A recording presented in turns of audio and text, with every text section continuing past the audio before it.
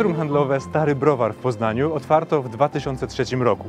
Od razu posypały się nagrody, a na głośnej wystawie w Centrum Sztuki Współczesnej w Warszawie trzy lata później budynek uznano za jedną z ikon nowej polskiej architektury. Kilka tygodni temu zapytaliśmy twórczynię Starego Browaru, panią Grażynę Kulczyk, dlaczego zdecydowała się na inwestycję właśnie tutaj, w miejscu ponad stuletniego browaru. I ona odpowiedziała, że faktycznie czasem zastanawia się, czy nie łatwiej po prostu kupić działkę pustą i zacząć na niej budować.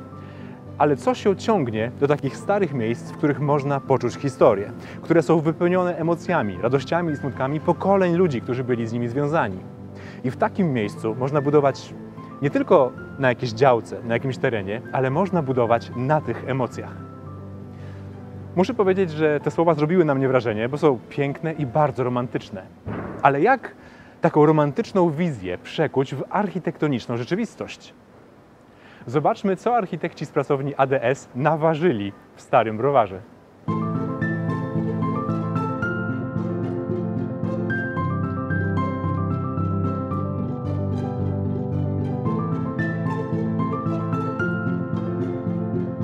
Przede wszystkim powiedzmy sobie szczerze, że centra handlowe to rzadko kiedy obiekty o jakichkolwiek walorach estetycznych.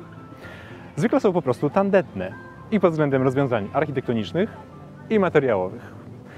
Projektuje się je jak taką plastikową namiastkę prawdziwego miasta, ale no mówmy się, one udają miasto równie skutecznie jak akwarium udaje ocean. Są tanie i efekciarskie. Do tego często centra handlowe są jak wyspy, wyizolowane z reszty miasta, otoczone morzem parkingów, całkowicie zamknięte do środka. Ich celem jest stworzenie kontrolowanej, całości zamkniętej przestrzeni, która z otoczeniem nie współgra, ale rywalizuje. Dlaczego zatem warto zająć się w ogóle akurat Starym Browarem? Teraz idziemy ulicą Półwiejską, która jest jedną z głównych ulic handlowych Poznania. To właśnie tutaj stoi Stary Browar. No i od razu widać, że to jest rzecz bardzo duża. Ale architekci osłabili tę dominację nad okolicą poprzez rozbicie budynku na mniejsze części, które tak nie przytłaczają. Oprócz tego Stary Browar to nie tylko centrum handlowe, ale budynek wielofunkcyjny. Pierwszy etap, który widzimy teraz, ma powierzchnię około 34 tysięcy m2, z których aż 5 tysięcy to biura. I one są częściowo zlokalizowane w tym osobnym budynku. Na parterze tego budynku jest sklep. Dostępny nie z alejki w centrum handlowym, ale wyłącznie bezpośrednio z ulicy, czyli zupełnie inaczej niż zwykle robi się w centrach handlowych. Do tego to rozsunięcie jednego budynku od drugiego to jest coś, co profesjonalnie nazywa się otwarciem urbanistycznym. Przestrzeń ulicy otwiera się na zieleń parku.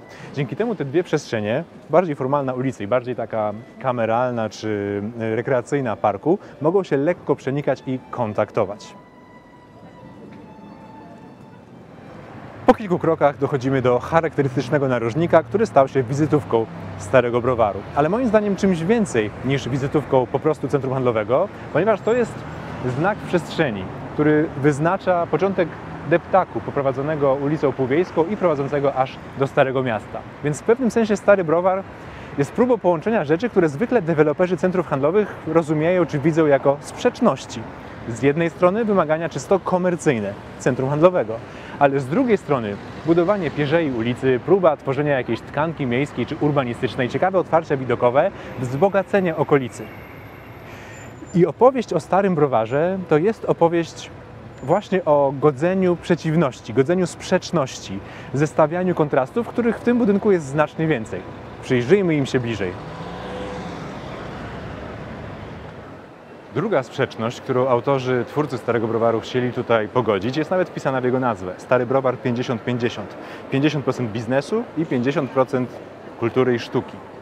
I wydaje się, że trudno o dwa bardziej przeciwstawne światy, komercję i sztukę, ale Stary Browar jest chyba jedynym centrum handlowym w Polsce, które zasługuje na popularną nazwę galerii handlowej. Ponieważ owszem, jest tutaj mnóstwo sklepów i ta warstwa komercyjna jest wszędzie obecna, ale także wszechobecna jest tutaj sztuka i to jest jednocześnie centrum handlowe i galeria sztuki. I są tutaj takie wielkie, monumentalne rzeźby, jak ten klasyczny Mitoraj, ale różne dzieła sztuki pojawiają się także w mniej oczywistych miejscach. Tam jest taka ławeczka, która też jest dziełem sztuki. Dwie inne rzeźby Igora Mitoraja wiszą tutaj, są postawione na takich wspornikach wysoko, wysoko ponad drugim piętrem.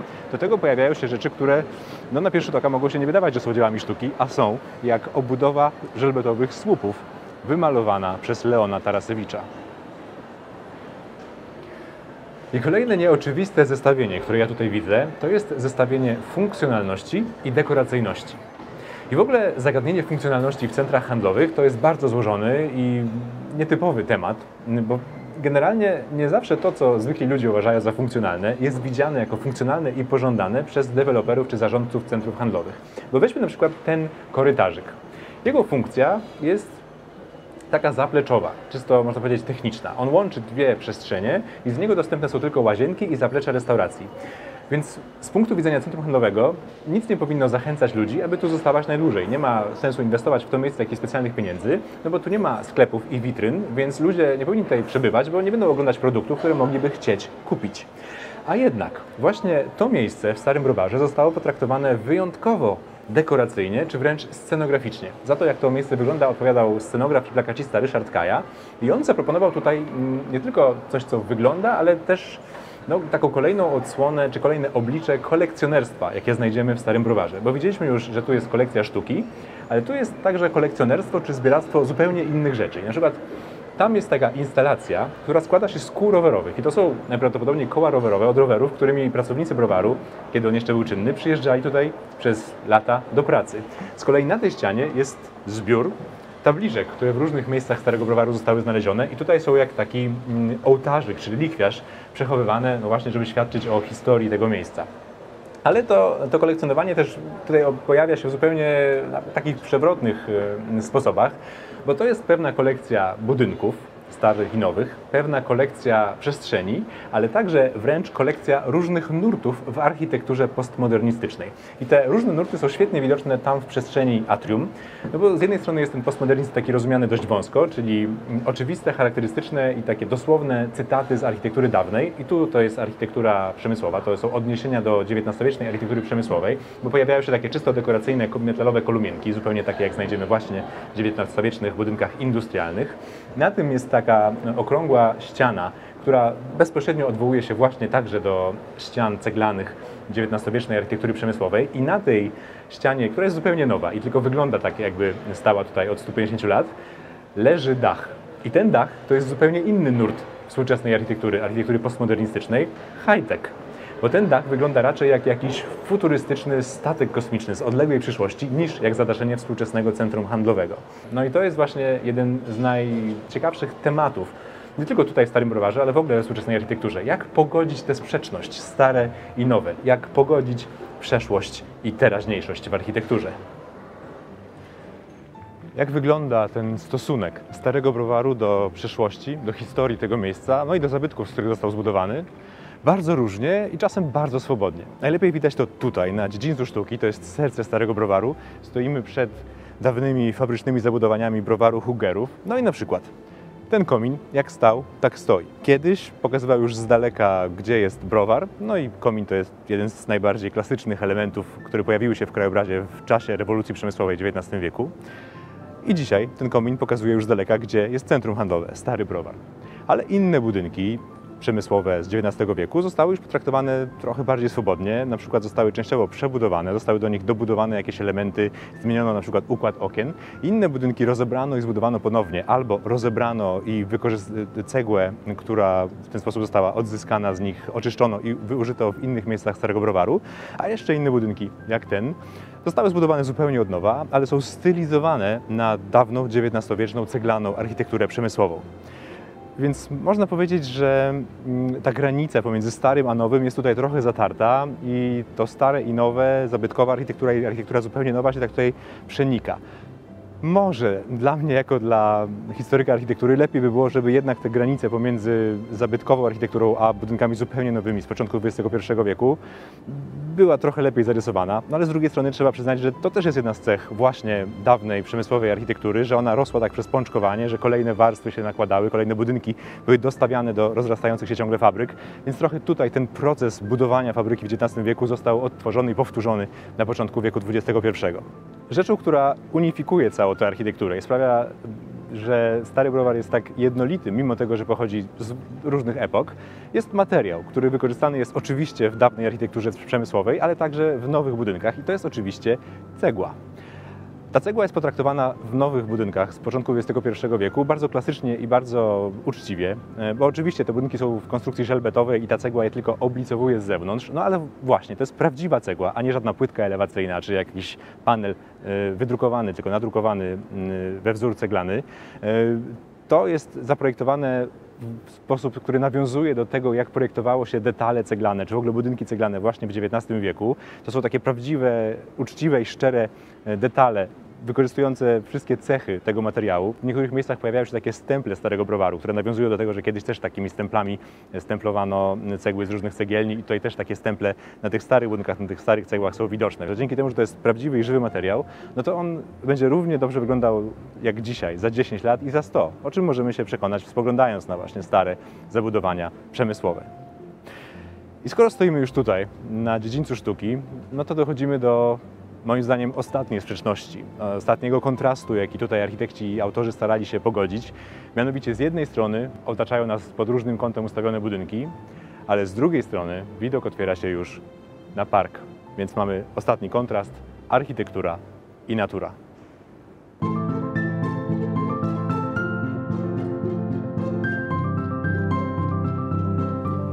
W skład kompleksu Starego Browaru wchodzi też park i stąd widać no właśnie, że Stary Browar to nie jest takie wielkie architektoniczne łubudu, tylko że jest rozbity na mniejsze części, osobne budynki, one mają różne kształty, różne wysokości, dzięki czemu tak nad tym parkiem i nad okolicą nie dominują. Najważniejszym miejscem pod względem urbanistycznym jest dziedziniec sztuki i tam jest bardzo sympatyczna sytuacja urbanistyczna, ponieważ moim zdaniem to jest miejsce, które jest bardzo starannie i porządnie zaprojektowane i ma bardzo wiele cech dobrej przestrzeni publicznej.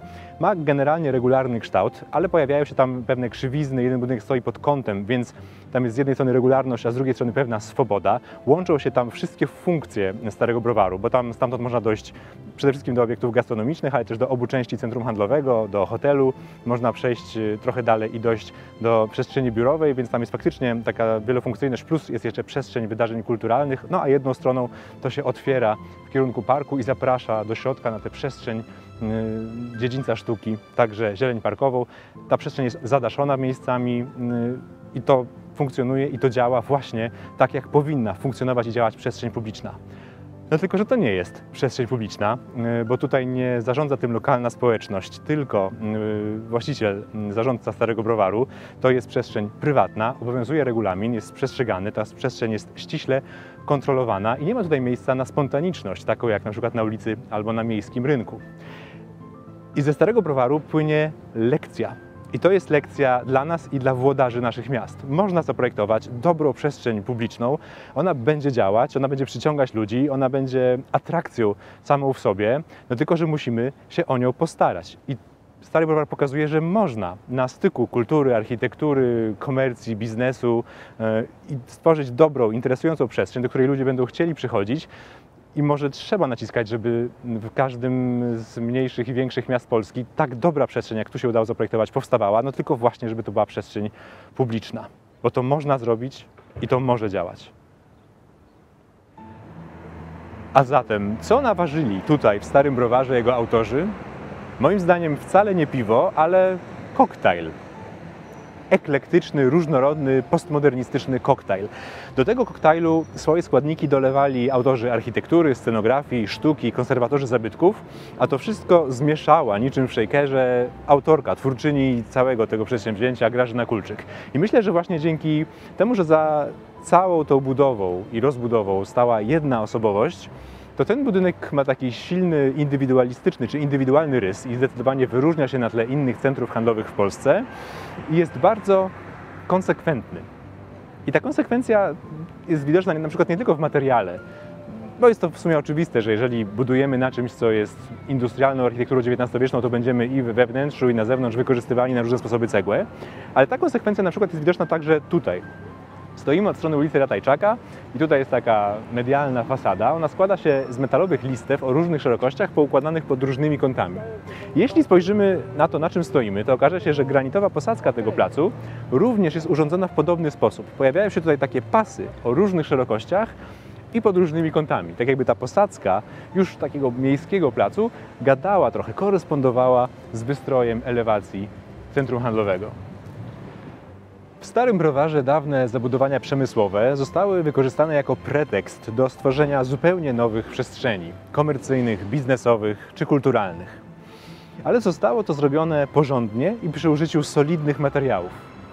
Dlatego moim zdaniem to centrum handlowe się nie starzeje, ale raczej pokrywa patyną i dopisuje kolejny rozdział do historii tego miejsca. Dziękuję za obejrzenie tego odcinka. Kliknij poniżej, aby zobaczyć film o jednym z moich ulubionych wieżowców, warszawskim Rondo 1 i kliknij tutaj, aby subskrybować ten kanał. Dziękuję, do zobaczenia.